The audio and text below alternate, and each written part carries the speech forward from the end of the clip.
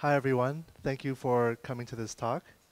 My name is Gene Pang, and I'll be talking about accelerating Spark workloads in a Mesos environment with Alluxio. So here's a little bit about myself uh, before we get started. Uh, my name is Gene Pang, and I'm a software engineer at Alluxio, and I'm also a PMC member of the Alluxio open source project. Before I started at Alluxio, I got my PhD from UC Berkeley from the AMP lab, um, which also produced you know, software like Mesos. And before that, I was working at Google with distributed databases and systems. And here you can find my Twitter and GitHub handle. So here's a brief overview of what I'll be talking about today. I'll first go into an introduction and overview of Alluxio, and then I will um, go into some use cases that so some some users are using with uh, Alluxio and and Spark and Mesos together, and also I will sort of describe how you can use Spark and Alluxio together, uh, and then and then I'll go into some, you know, how does this get deployed uh, in Mesos, and then finally go through a demo um, of this on on DCOS. So first, uh, let's talk about sort of the, this, this big data ecosystem. You know, back in the day, say 10, 15 years ago, it was actually pretty simple, I, I would say. It, it, they, there was there was like basically one framework. There was the Hadoop framework where we had Hadoop MapReduce. We also had Hadoop HDFS for the storage, and it was actually very simple. Um, there was basically one a one-to-one -one mapping. However, you know, as time evolved, the ecosystem evolved as well. And today there are lots of different types of frameworks for computation, and there's lots of there are a lot of different types of storage systems that people like to use. So, for example, here, you know, you know, HDFS is still here, but there are a lot of new ones that people are people want to use, like the cloud storage, like S3, the Google one, uh, uh, Microsoft Azure, and then there's also lots of um, uh, storage appliances as well. So there's a lot of storage, and then there's also a lot of uh, computation application frameworks like uh, like uh, Hadoop MapReduce, but there's also Spark, which is a big one. There's also Flink, Presto, uh, you name it. There's a lot of different types of application frameworks, and so this can actually get pretty messy just in terms of writing applications, managing the storage, and just adding new ones, removing old ones, just is is is quite difficult. Also. Um, because uh, the the compute and storage, there's just such a wide variety of them now. It's harder to get sort of the optimal I/O performance from uh, the from the storage to the application. So this is where Alluxio wants to help things. Alluxio is a new layer in between storage and computation. And here you can see that it sits in between the application frameworks and it's and above the storage systems. And it actually uh, abstracts away the storage systems and provides a single unified and global namespace across all the different storage systems. And so applications really only need to talk to just Alluxio with just different paths, and they can access their different data uh, that happen to be um, happen to be stored in separate storage systems. Uh, in addition to that, Alluxio is actually a distributed system. So what um, typically this is deployed close to the computation and what Alluxio can do is actually cache and store data closer to the application, uh, also in memory. So what this allows is that it can actually enable in-memory access to data for applications. And this is actually very powerful. Applications really only need to talk to one API, one namespace, and they can get almost local memory speed type of I.O uh, from their data, even though the data can be all over the place in different storage systems. And this ultimately enables decoupling, being able to decouple computation and storage. And that's actually very powerful. You can scale each independently, and, and it's actually a, a, very, a very scalable way to operate things.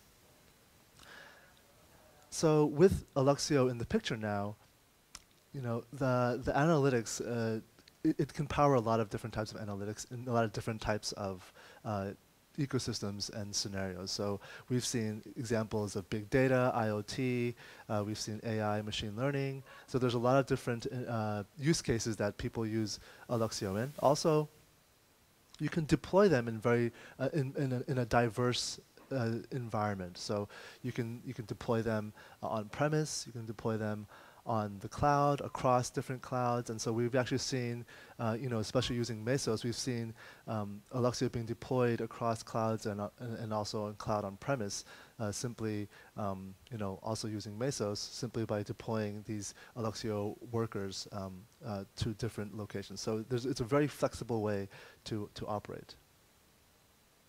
So, so just to sort of summarize what Alluxio can provide, ultimately it can unify your data, and it, it provides this one single API and single namespace for your data, uh, regardless of where the data actually lives uh, underneath it. Uh, there's also a lot of flexibility with Alluxio. You can, since you get to decouple your computation and storage, you can scale them independently. You can use, you can mix and match different computation. You can mix and match different storage, and um, it's still uh, Alluxio allows you to do that and enables that to make it much easier. And lastly, um, Alluxio, since it can store data closer to the application and in memory, it can greatly improve the I/O performance. So Alluxio is Alluxio is an open source project, and it's actually one of the fastest growing ones. Uh, Alluxio has, been open source for about four years now, so uh, yeah, about four years. And this is actually a graph of the number of GitHub contributors uh, to the project over the first four years of, of the project. And um, the top line is Alluxio, and this this graph is actually a little bit stale. But if you, I think if you if you go on GitHub today, I think there's over 600 contributors um, in, in, the Alluxio project. So it's actually been really exciting and and fun to be part of that community and sort of see how um, different people are using Alluxio in, in, different ways. So next I'll talk about some Alluxio, Spark, and Mesos use cases out there. Uh, so this first one uh, is is from Qunar. They're um, you know a big travel website uh, in in in China, and here, uh, they have an interesting use case where they actually have multiple computation frameworks. They have Spark and Flink, and they want to do both streaming, they want to do both batch, and there's a lot of sort of mixing and matching between the two computation frameworks, but they also have multiple storage systems that they're storing data in. They have HDFS, and they're also, also using Ceph. So there's you know, multiple computation and multiple storage. And it was actually, um, you know, becoming sort of a headache to manage all that, as well as they're not getting the best performance that they wanted. So they added Alluxio, um, in addition, so they added Mesos and they added Alluxio to the picture. And by doing this, they could actually abstract away the, the different storage systems that they actually have, and they can get some of the higher performance I/O that they were looking for, as well as being able to share a lot of that data between the two computation frameworks uh, through the memory. And so this actually sped up a lot of their, their jobs, and uh, especially in, in some really bad peak times, uh, some of their queries actually completed 300 times faster uh, with this new environment. So they actually found a lot of value from Alluxio. This next uh, example is from Guardant Health, and uh, they do a lot of genomics and cancer research, and uh, here they had um, a Spark, before they had the Spark HDFS environment, but uh, they, it wasn't um, scaling up as much as they could have. And they were looking for actually, they have a lot of data and they want to, they need to scale out more. So they actually moved to something, uh, they moved to Minio, which is like a cloud, like object store uh, where they could scale out the data uh, far greater than HDFS. And so once they did that, though, the data was actually it was remote and slower. So they were they wanted sort of the performance back from you know, when they had sort of the the local data. So they added um, you know Alluxio to the picture uh, along with Mesos to the to be able to scale out, and they you know ran Spark Spark on Alluxio uh, uh, over Minio, and that actually sped up a lot of the access as well as uh, be able to access even their HDFS data as well. So this this sort of gave them the flexibility to use different storage underneath their application um, and be able to scale out to their needs. So next I'll talk about how Spark and Alluxio uh, can be used. So one, one class of um, benefits that Alluxio can provide is actually being able to share data uh, via the memory. And Alluxio can enable that. Uh, so with, um, so if you were to just run so, uh, so Spark jobs uh, on Mesos on, on some storage, and if they wanted to cache their own data, they would actually be each of the Spark contexts will be caching their own data, and that uh, essentially would duplicate the data that, that you have uh, in memory, and that could actually waste some space. So here we have an example where you know both blocks one and three are stored by these two Spark uh, computation contexts, but um, you know that's that's somewhat unnecessary, especially if they're on the same machine. So if you have if you use Alluxio instead, um, you can actually store that data in Alluxio, and Spark wouldn't have to store that data in internally. And so if Spark doesn't have to store that internally, the can essentially manage caching and storing that data in memory for the Spark applications, and the Spark can have, have direct access to that in-memory data um, and be able to not have to duplicate uh, duplicate the um, the the memory memory usage as well as have memory speed I/O to that data. Another, um, so even if there's only one Spark context, uh, there's a lot of benefit as well, uh, since you can share that data across different um, invocations of that context. So here, so here we have the Spark context on, on uh, running on some data, but you know, if for some reason that Spark context crashes or you know has to be restarted or another one gets restarted, um, all that sort of useful data gets lost and you'd have to reread it. So if you reread it from something that's slow, it, it would actually take a long time to, to um, restart that Spark job. So instead, you can store it in Alluxio, and even if um, the Spark application has to restart or has or crashes, the data is still resident in the memory uh, in the Alluxio worker. And so because of that, the application can, when it gets restarted, it can directly read from the memory uh, the data from memory and thus uh, greatly in increase the I.O. performance there. So here is a high-level overview of what the Ar Alluxio architecture looks like. Alluxio essentially has three major components. There's the Alluxio client, there's the Alluxio master, and Alluxio worker.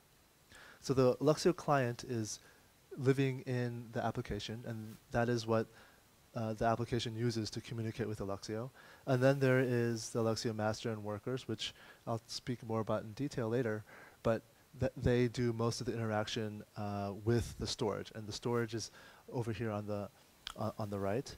And so th um, the applications only really need to talk to Alluxio and Alluxio workers, Alluxio masters, and then the workers and masters will interact with the under the backing underlying storage uh, for the data and metadata. So the Alluxio client is, is the main way that applications interact with Alluxio. And there are actually a few different ways to interact with Alluxio, uh, different APIs. There's the there's the native Java Alluxio file system client, which um, has a lot of the the Alluxio specific operations, such as pinning and unpinning. There's mounting, unmounting, you know, setting TTL, things like that.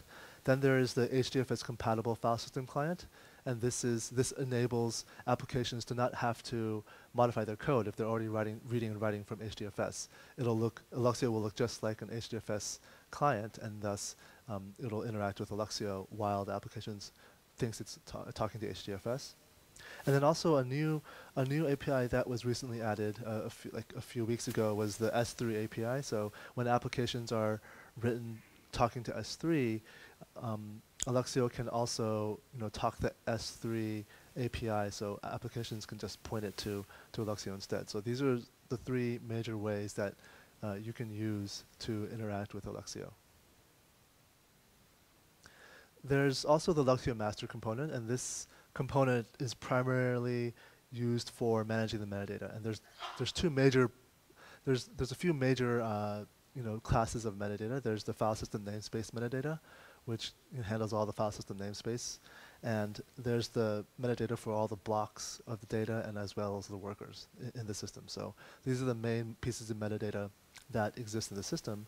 And the the, the, the primary master also writes to a journal, so all the actions are durable, and the secondary masters will essentially tail, tail that journal to, to keep up to date. And the workers are the they're the primary components uh, for storing the actual data. And so they they store the data, they serve the data, they read the data, and they also they, they can store it actually in different storage media. uh, there, it's called, the, the feature is called tiered storage, but essentially, uh, Alluxio can um, can use hard drives, SSDs, and memory for storing this type of data, and there are sort of eviction policies and, and, and promotion policies built in that you can configure to get the, the, the type of behavior that you want. And also workers are the main components that read and write, uh, read and write the, the data to and from storage.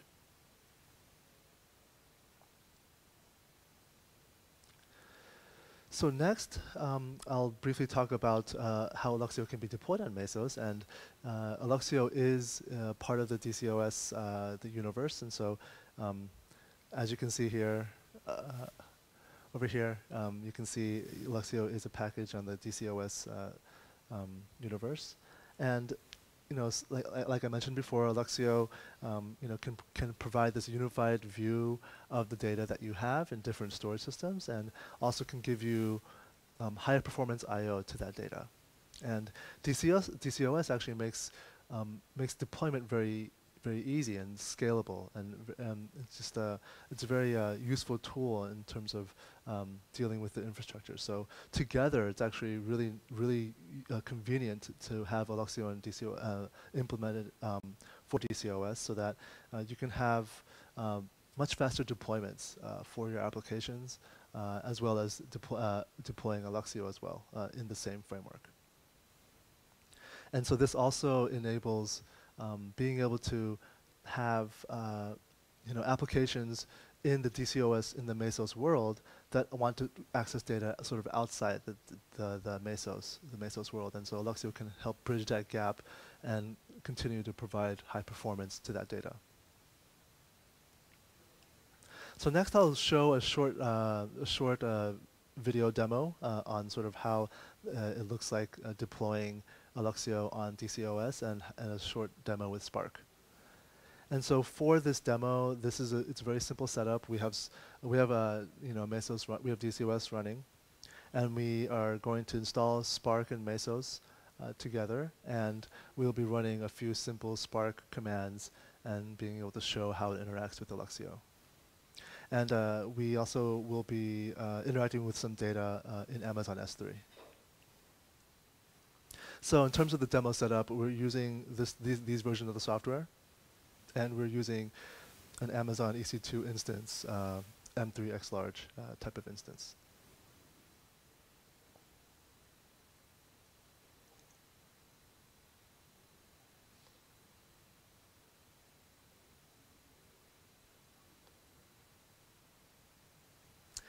So uh, in this in this setup, we have HDFS setup. And in HDFS, uh, this is the, the UI that shows the files in HDFS. And here you can see there's one file called uh, license. And so there's one file in HDFS. And then we also have um, an S3 bucket for this demo.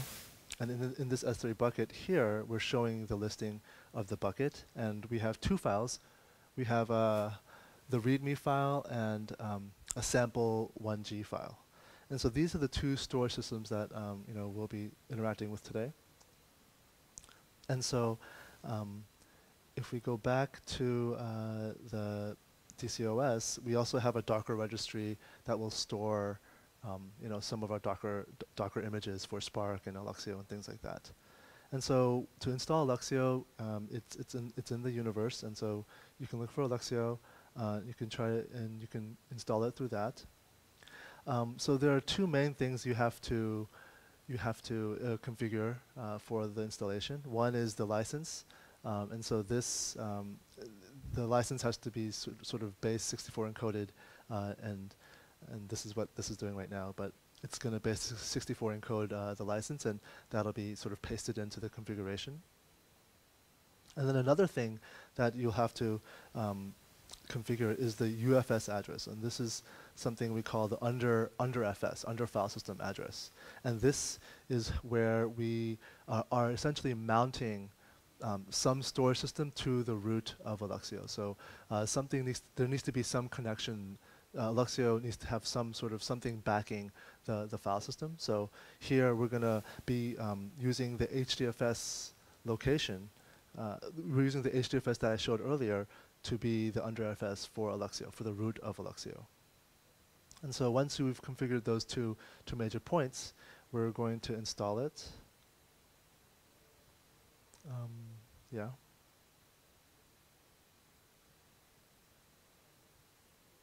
And then once that's and once that starts, uh, you will be able to see a lot of the processes start up for Alluxio uh, running on Mesos. And so here, I think we will be showing some some tasks here that are starting up. And some of the tasks that start up are the workers. Some of them are uh, the master, um, and those are so yeah, those are the main the main components that that get started up, started up. And so once Alluxio, uh, looks like Alluxio is started. Next, what we'll do is we'll actually log into the master and then start doing a few commands with the Alluxio um, shell commands. So since Alluxio does provide a file system type um, of, of, of, uh, of a namespace and interface, uh, you can do simple um, file system like uh, operations. So um, we'll log into the master, we'll you know start up um, we'll start up a Docker container. Yeah, I think we're just looking at some of the Alluxio configuration here. And yeah, the first command we'll do is a basic ls command. And so uh, here it's a little bit cut off, but it'll it's basically doing Alluxio fs ls slash the root. And so here you can see it's listing one file already. So we didn't do anything with Alluxio yet, but there's already a file there. And that's because we mounted that HDFS I showed earlier into Alluxio. And so since HDFS had that license file that I uh, showed earlier, uh, now we can see it uh, in Alluxio. So when we did the ls, we can see the license file there. Also, uh, you can see that it says not in memory. That means it hasn't been loaded into Alluxio yet.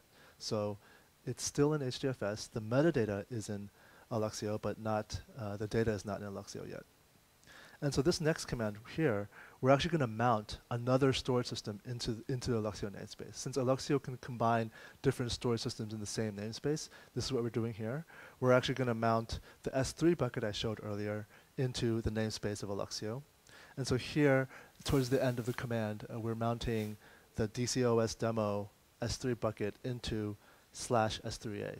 And so the path in Alluxio will be slash S3A, and we're mounting that S3 bucket in.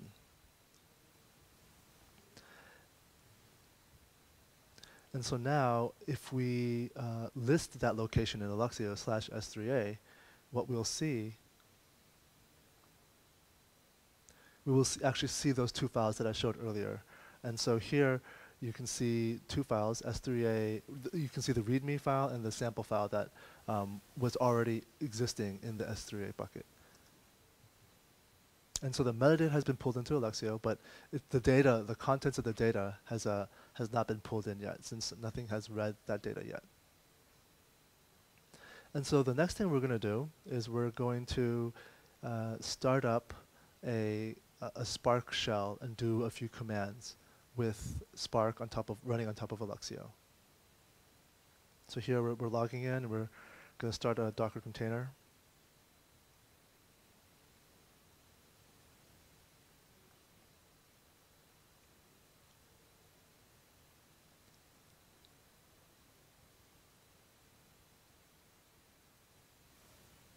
And so, um, as yeah, so we're starting with uh, Spark Shell, so it'll start up with the executors, and we are going to run basically a simple command that will count the data uh, in that S3 bucket, in, in that sample 1G file.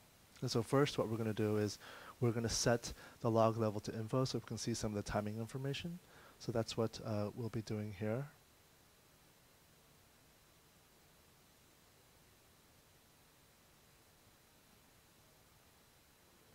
And then what we're going to do is we're going to read the sample 1G file from Alluxio. So here uh, you can see the command. It, we're creating an RDD from the sample 1G file of Alluxio. So the path that we're passing in here is it starts with Alluxio. It's the Alluxio scheme, and then we have uh, you know the, the the host name and things like that, and then we have the path um, S3A sample sample 1G, and so that's the file that we're creating this RD, RDD from and then we want to essentially read that RDD. And so we're going to do a simple count on that. And so it'll it'll process that data. And actually, at this point, it'll read it in from S3 since it hasn't been read in before yet. So if you take a look at the time, it took um, about 30 seconds to read all that data in, to read all, uh, read all that data in. And in that process, actually, it will um, have it will, have uh, saved it in Alluxio space as well. So if we if you look up here, um, we do the same listing on the S3A path in Alluxio, and now the sample 1G file um, says in memory. And that's because since an application has read that file, it, it pulled it in from S3 and stored it in Alluxio now. And so the next time that you want to read it, it'll actually be in memory now. So we're actually going to start a new Spark shell, a separate Spark shell, um, and we're going to run sort of the same command. We're going to you know, create an RDD, RDD from that Alluxio file, and we're going to we're going to read that data. So we set the log level, we you know create that RDD, the same RDD uh, from the same file, and then we're going to run the count.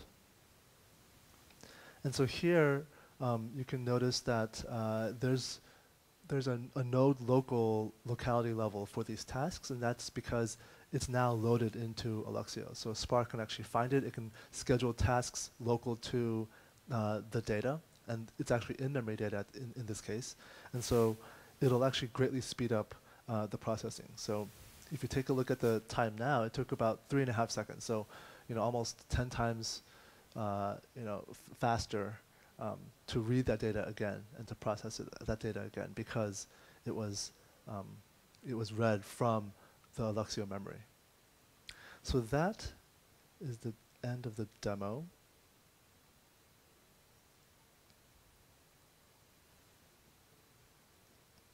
So here are just some of the results from the simple demo. Uh, we have, uh, this is sort of the, the duration in seconds of that, of that processing, that, that RDD count.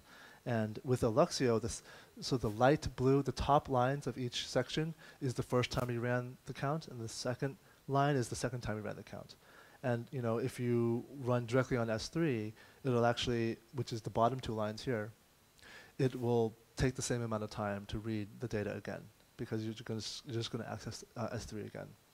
But with Alluxio, the second time you the second time you read it, it'll actually read it from Alluxio memory. It's already it's already been cached in Alluxio, so it actually uh, will have much faster I/O because it's already in memory, and so the application, uh, you know, will essentially be eight. So in this example, eight times faster because the data is already uh, in Alluxio.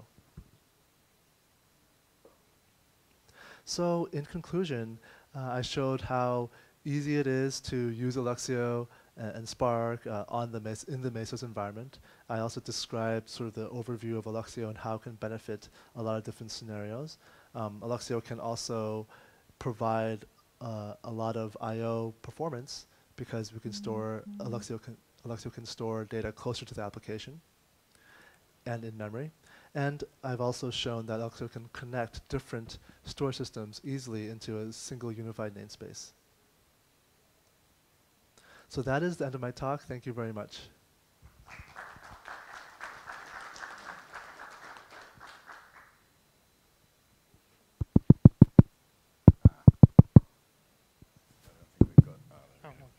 Hello. Um, thanks for the presentation. Was really cool. Um, just a question. So if I understand correctly, Alluxio is like distributed memory transaction or distributed memory across multiple machines and it read the data from the memory on different machines, right?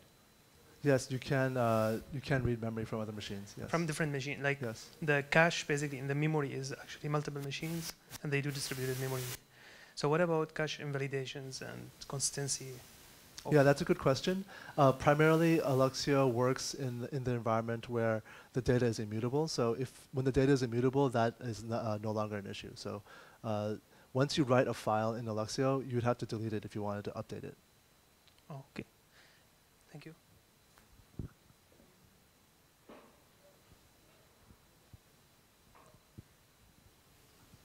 Uh, it's a little bit of a similar question. So if I have um, a, a, data set that's larger than any one of my um, uh, servers can hold itself, um, and it needs to be striped across multiple servers, how does Alluxio deal with failure modes? So if I have, I don't know, say a terabyte of data and I lose a node in my cluster with a part of that data, will I re, will I pull in just that part, or will I have to pull in the entire data set again? Yeah, that's a good question. So, uh, in in the Alluxio world, there's a concept of um, files and blocks, and so uh, will have to reread blocks of data, but not the entire file. So, if the file has like 10 blocks and you lose a machine that had two of those blocks, you would have to reread uh, two of those blocks from the underlying store, or from if it's on a different machine, it, it can even read it from ano- another Alluxio machine. So, um, it's it's on a block level.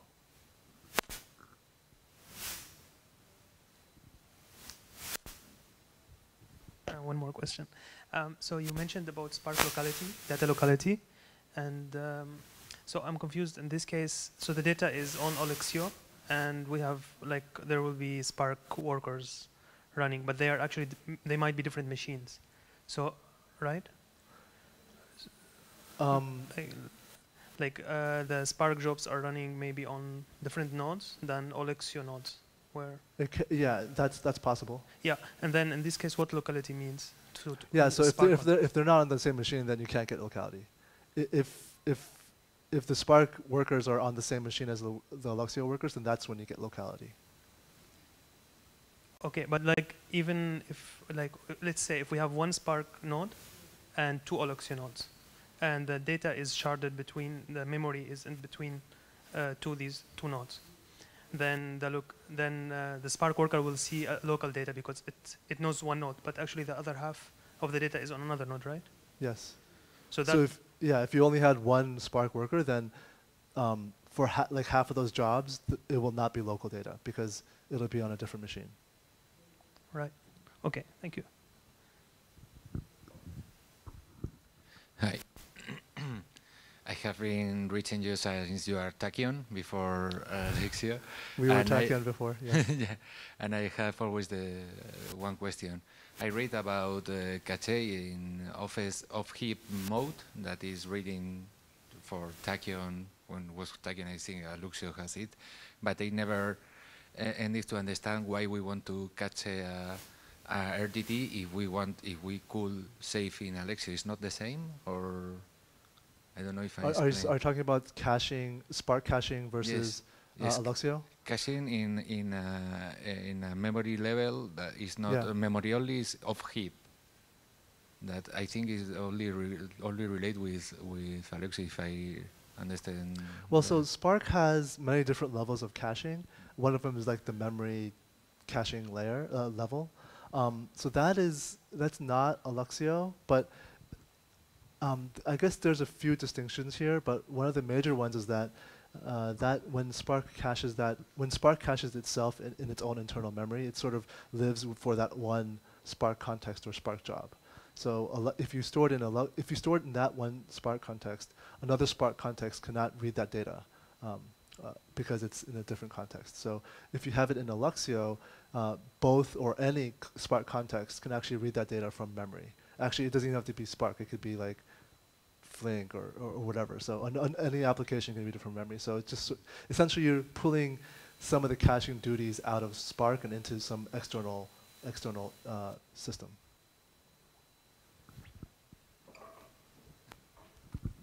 And another question: uh, Do you you say that you have uh, several uh, file system from the underlying file system supported? Uh, how can you say how much, or I only see Gluster and HDFS? Uh, Well, there's? HDFS. There's uh, there's you know there's Gluster ones 'cause I think that's also talks to HDFS. There's S3. Um, uh, there is like NFS type of systems as well. Um, yeah, so a lot of different. I think we support many of the files. Is there some? Is there one that you're particularly interested in? In my case, it was NFS, so yes. you Yeah, so support I. I think we do have people using it with NFS as well. okay, thanks.